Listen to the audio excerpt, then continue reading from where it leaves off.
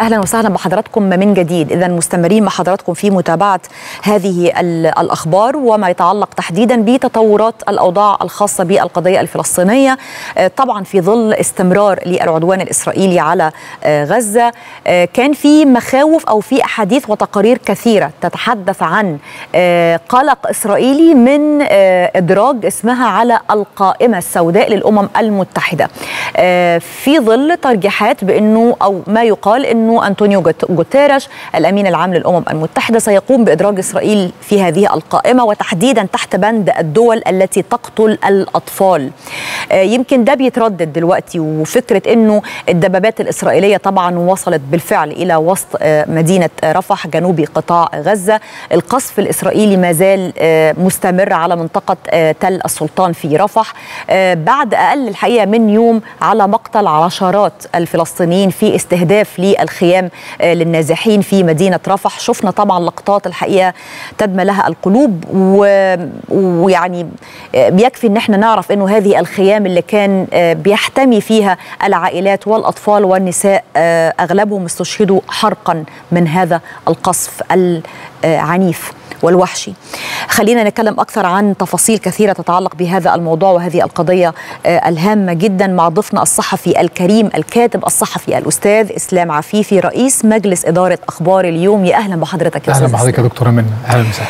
يعني مع كل الأخبار اللي بنسمعها ومع كل ما يحدث وقرارات المحكمة الجنائية الدولية محكمة العدل الدولية أحاديث كثيرة تتحدث أنه الأمم المتحدة ستدرج إسرائيل تحت بند قائمة الدول التي تقتل الأطفال. كل هذا والجانب أو الكيان الإسرائيلي المغتصب مستمر في عدوانه مستمر في الوحشية التي يقتل بها الشعب الفلسطيني. الموقف النهاردة بيزداد سوءا. بس بنرجع نفكر إنه تحرك القضية الفلسطينية على يعني أصعدة كثيرة جدا منها تعاطف العديد من دول العالم. اعتراف دول لم نكن نتوقع أنها تعترف بالدولة الفلسطينية مستقلة. ده يمكن بيدينا شوية أمل يا أستاذ إسلام. حضرتك شايف الموقف إزاي دلوقتي؟ صحيح يظل الأمل قائم في الحالة الفلسطينية وحالة هذه القضية التي كانت تراجعت إلى الخلف بسبب أحداث عالمية كثيرة وعلى ويعني يعني حتى على مستوى المنطقة و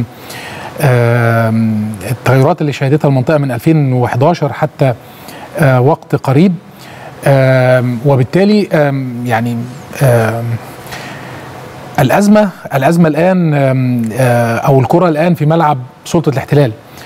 سلطة الاحتلال التي تقصف والتي تقتل والتي تدمر والتي لا يعني تصم أذانها عن كل النداءات في يعني من زعماء العالم من مصر من دول عربية من كل دول العالم حتى الولايات المتحدة الأمريكية عندما يتحدث جون كيربي أخشى على إسرائيل من العزلة. يا سيدي لا تخشى على إسرائيل من العزلة ولكن اخشى على أمريكا التي فقدت مصداقيتها وبايدن الذي تمثله الذي تراجعت أسهمه في كل استطلاعات الرأي طوال الشهور الماضية على مدار 8 شهور. وبالتالي يعني أصبحت إسرائيل خلف القضبان في كل المحافل الدولية في الجمعيه العامة للامم المتحدة في المحكمة محكمة العدل الدولية أعلى محكمة في المنظمة الدولية في الجنائية الدولية التي طالب المدعي العام فيها بضرورة اعتقال هذا نتنياهو وجالنت. يعني أعتقد بهذه الصورة يتعامل العالم مع إسرائيل مم. الرئيس الفرنسي عندما يخرج بالأمس يتحدث عن تأجيل ال... يتحدث اليوم عن بلغة أخرى مم. بضرورة وهنا الجملة ضرورة إنهاء التأجيل الممنهج لحل الدولتين إذا التأجيل ليس من قبيل الصدفة مم. هو تأجيل ممنهج مم. هو تأجيل مقصود يت... يتم هندسته يتم هندسته معرفة الولايات المتحدة الأمريكية بالتأكيد.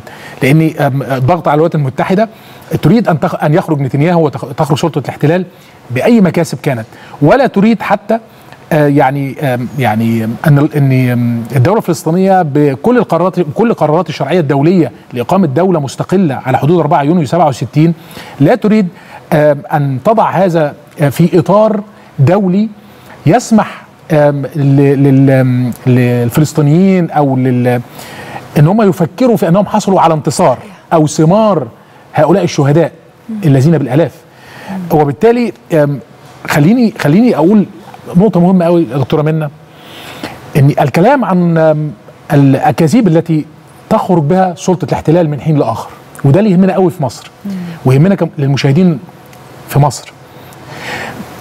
في استراتيجية اسمها استراتيجية تصدير الأزمة. لما لما لما حصل طوفان الأقصى في 7 أكتوبر وبدأ وبدأ العدوان العنيف الإسرائيلي ومصر بدأت تتحدث عن عقاب جماعي. السيد الرئيس يتحدث عن عقاب جماعي من من يعني أول من صك هذا المصطلح. صحيح. هذا عقاب جماعي. ويتجاوز فكرة حتى رد الفعل أو آه، يعني نوع من الرد على ما حدث. وبالتالي جوتريش الأمين العام للأمم المتحدة عندما خرجت التقارير من الأمم المتحدة تناصر الموقف الفلسطيني وتدافع عن الأبرياء تم استهداف جوتريش. ووصمته إسرائيل بأنه معادل الساميه صحيح. واحد. صحيح. اثنين نفس منهج تصدير الأزمة. حصل مع الأونروا. اتهموا عدد من العاملين في الأونروا بأنهم يدعمون المقاومة, المقاومة. وشاركوا في كذا. صحيح. وبالتالي يتم وصم كل منظمة الأونروا التي تعمل لعشرات السنين في عملية الإغاثة وتوزيع المساعدات على الأرض. وما قدموش حتى ولا دليل على ادعاء- ادعاءاتهم دي. ولا أي دليل. حتى الأسماء اللي تم اتهامها من جانب سلطة الاحتلال الأونروا سرحت هؤلاء ثلاث أشخاص. وبالتالي كان نوع أيضا من تصدير الأزمة. صحيح. تصدير الأزمة مستمر تجاه مصر. مم، طبعا.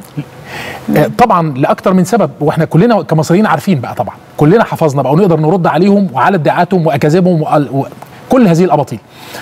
آه، أنت تفتح المعبر طوال طوال الوقت فيتقال إنك أنت أغلقت المعبر. وبايدن يثمن الدور على الدور المصري في فتح المعبر وإدخال المساعدات صحيح. وتحملها المسؤولية ودعوتها لقمة القاهرة للسلام واتجاه كل ما قامت به مصر وكان في رد فعل إيجابي من دول العالم وعلى رأسها آه، الرئيس الأمريكي. ثم يعود الرئيس الأمريكي نفسه ليقع في خية تصدير الأزمة على الطريقة الإسرائيلية. مصر تغلق معبر رفح. كلام يعني لا يعقل. بعد الإشادة. آه، م- بعد يعني يعني وهكذا. وما يحدث الآن من اتهامات سواء آه، للمخابرات العامة المصرية واستهدافها لأن هي قدرت إن هي تصل إلى المحطة قبل النهائية لتوقيع اتفاق هدنة فيتم وصم بأكاذيب أخرى. الآن يتحدثون عن آه، وجود أنفاق. وجود أنفاق. لن يملوا من تكرار الأكاذيب. هم أستاذ إسلام أنا هسأل حضرتك السؤال والله بجد يعني وهستخدم لغتنا إحنا الدارجة مش مش هطرح السؤال في شكل يعني الشكل الإعلامي واللغة العربية الفصحى. يعني هم مش حاسين إن هم مكشوفين قوي يا أستاذ إسلام؟ يعني هم زي ما حضرتك بتقول كده وعمالين بنفند لهم الحاجات. شوية أصل أنتوا اللي قافلين المعبر وأنتوا اللي مسؤولين عن عدم إنفاذ المساعدات. وشوية أصل في أنفاق عندكم آه، بتساعد المقاومة. وشوية أصل أنتوا المسؤولين إن ال- ال- ال- الاتفاقيات ما, ما, ما نجحتش. يعني هذا الكم من الأكاذيب م- م- هم مكشوفين قوي يا فندم. يعني هم عارفين كده ومكملين ولا هم ده كله لإطالة الأمد زي ما حتى يعني مصادرنا الرسمية بتقول. كل اللي بيعملوه ده قاصدين بيه إطالة أمد الأزمة أو زي ما حضرتك استخدمت المصطلح ده تصدير الأزمة بشكل مستمر. طب هم هيوصلوا لإيه في الآخر يا فندم؟ أحدهم الذي يرتدي بدلة عسكرية والعسكرية براء من هؤلاء جميعا. يتحدث لل... للفلسطينيين في قطاع غزة آه، أو في رفح اذهبوا إلى المخيم. إنه هناك الحياة وهناك الخدمات وهناك المواد إنه الإنسانية. آمن. وأنه آمن. ثم يتم قصفه. يتم قصفه بهذه الطريقة الوحشية والعشرات يستشهدون. تصدير الأزمة. لأن كان هناك اثنين من المقاومة يختبئون وسط المدنيين. أين القانون قانون آه، الإنساني؟ أين القانون الدولي؟ أين قوانين الحرب؟ طب الأطفال اللي اتحرقوا دول ذنبهم إيه؟ يعني نحن نتعامل مع أرعن فقد عقله فقد صوابه لا يدرك ماذا يفعل تقريبا ولا أدري لماذا يتم يعني يعني يعني إلى أي مدى يمكن أن تتحمل أمريكا الضغط العالمي؟ إلى أي مدى؟ إلى أي مدى يمكن أن يتحمل الرئيس بايدن والبيت الأبيض بشكل أساسي؟ آه، يعني ما يجري. بيرس مورجان في فيديو بيتنقلوا ال- الملايين الآن. كان يدافع عن آه، أن إسرائيل من حقها الدفاع عن نفسها. الدفاع عن الآن يتحدث عن أن قتل المدنيين غير مبرر ولا يمكن الدفاع عنه. صحيح. صحيح. يعني ماذا تبقى- يعني لما نحط آه، فيديوهاته في أول الأزمة بعد 7 أكتوبر بأيام أو بأسابيع قليلة. ثم ننظر إلى فيديوهاته وهو أحد المذيعين المشهورين جدا طبعا في العالم وله ملايين من المتابعين. لا هو نفسه في في تغيير في الموقف. كان الأول كل ما حد يتكلم معاه يقول له هل تدين حماس؟ هل تدين حماس؟ النهارده في تغيير حتى في طبيعة الأسئلة اللي بيسألها لضيوفه إنه ما ذنب المدنيين الذي يحدث هو إبادة جماعية.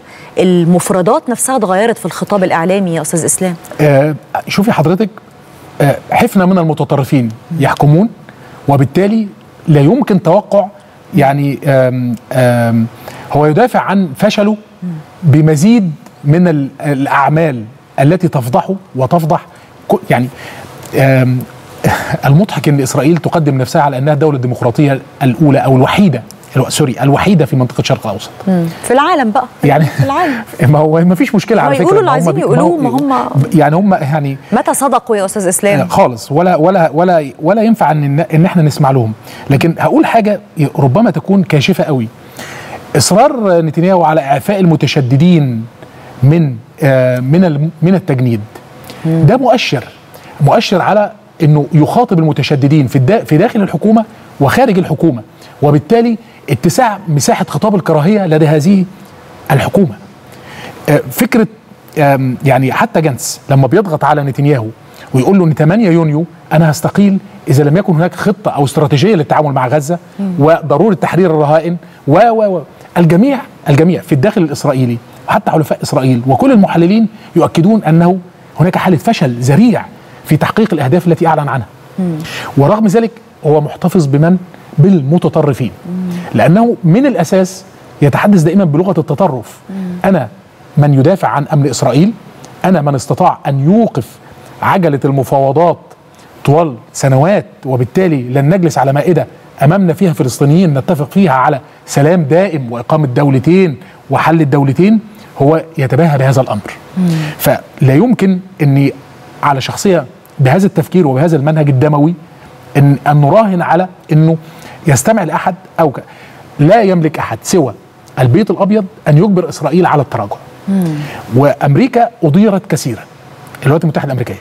هي عمرها ممكن تحصل يا أستاذ إسلام ممكن نسمع في يوم من الأيام إنه الولايات المتحدة الأمريكية أجبرت إسرائيل على التراجع ووقف إطلاق النار والاعتراف بالدولة الفلسطينية وحل الدولتين لم يحدث من قبل وبالتالي لا يمكن أن نراهن على الموقف الأمريكي أن يكون موضوعيا أو أن يكون عادلا أو منصفا أو كذا. أمريكا تجعل من نفسها يعني في جانب والعالم كله في جانب آخر، مم. حتى الاتحاد الأوروبي حضرتك قلتي أسبانيا وأيرلندا والنرويج صحيح. و... وفي الطريق الكثير مم. ودول دول أمريكا اللاتينية والدول الإفريقية والدول الآسيوية مم. الصين ب... وموقفها وروسيا وموقفها صحيح. القوى العظمى طب بالحديث معلش عن الدول الأوروبية البعض بيشوف أو بيقول إنه نتنياهو ومن معه جن جنونهم بعد اعتراف أيرلندا والنرويج وأسبانيا بالدولة الفلسطينية كدولة مستقلة بصفة عامة يعني. ولكن تحديدا الغضب الإسرائيلي كان تجاه أسبانيا. ليه يا فندم؟ لا هو أسبانيا بتقود الاتحاد الأوروبي وكان ليها موقف قوي, جدا عندما حضر رئيس رئيس حكومة أسبانيا بيدرو سانشيز.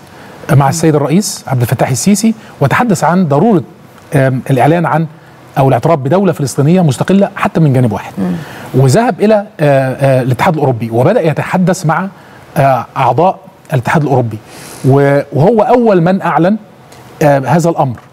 وتبعوا يعني تبعته حكومات أخرى.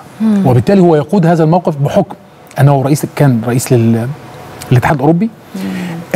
بلجيكا آه واخدة موقف إيجابي جدا من القضية آه البرازيل آه في أخبار إنه البرازيل سحبت آه سفيرها من إسرائيل في حالة غضب عالمي مما يحدث في غزة.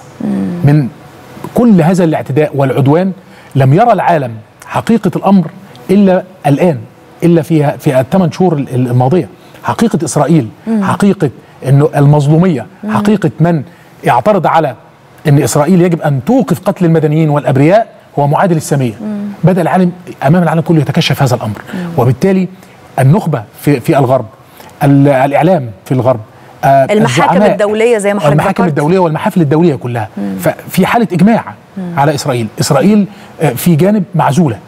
وده من يعني جون كيربي اللي بي اللي بيصف هذا الأمر. مش بس دلوقتي على فكرة. هم على مدار الشهور الماضية قالوا إن إسرائيل سوف تعاني من فقدان حلفائها حليفا تلو الآخر. والآن هي تدفع ثمن ثمن هذا. وأعتقد إنها ستحتاج سنوات كثيرة جدا لكي تحسن من صورتها أمام العالم. كدولة تدعي أنها ديمقراطية. كدولة عدد المستوطنين الذين يتسلحون يتضاعف خاصة فيما يتعلق ب- بالمستوطنات الأق- آه، من الضفة الغربية.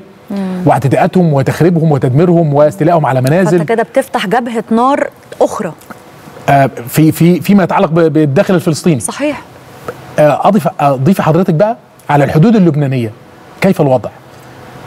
كيف الوضع بالنسبة للملاحه؟ الملاحة بالنسبة للعالم كله وهي مسألة يعني تعني العالم كله. آه، ورغم ده لا نجد عاقل لا نجد عاقل في الحكومة يتحدث آه، بدبلوماسية حتى المصالح حتى بفكرة آه، آه، بلده يعني أو هذا الكيان. الاستحواذ على الأرض والاستيلاء على الأراضي وتهجير تهجير الناس والمخطط مستمر بكل الطرق صحيح. بكل الطرق. صحيح. في هناك إصرار على أن القطاع تكون هناك استحالة الحياة في في القطاع. آم، آم، يعني حتى لو لو يستطيعوا التهجير القسري ولا الطوعي فتبقى حالة أعتقد إن الوضع والدمار اللي حاصل في القطاع رهيب. ويعني ومؤلم وموجع لكل العالم ولكل من يحمل ضمير إنسان. نعم. يعني أعتقد أعتقد إني آه، يعني هقول جملة يعني أنا عارف إن الوقت إن مصر لا تتعامل مع القضية بفكرة ردود الفعل على الحماقات اولا. مصر تتعامل باتزان شديد جدا وبتعقل شديد جدا. وقادرة على حماية امنها القومي نعم. لازم كلنا كمصريين مقتنعين وم- ومتأكدين من هذا الأمر كده يا فندم. وواثقين من هذا الأمر.